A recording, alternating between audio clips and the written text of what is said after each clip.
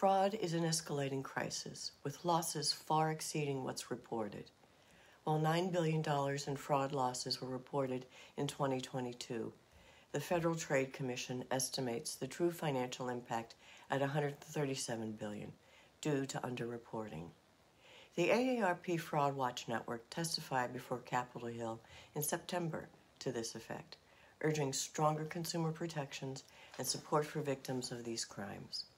Kathy Stokes, Director of Fraud Prevention for AARP, emphasized the rapid rise in fraud, calling it meteoric, and urged a coordinated effort from government, industry, and advocates to tackle the th- growing threat. Amy Nofziger, Director of Victim Support for AARP, warned lawmakers that technology is making it easier for criminals to prey on older adults.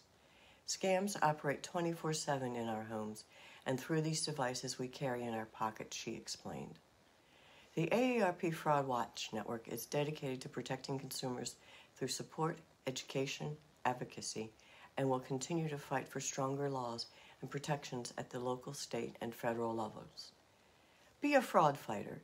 If you can spot a scam, you can stop a scam.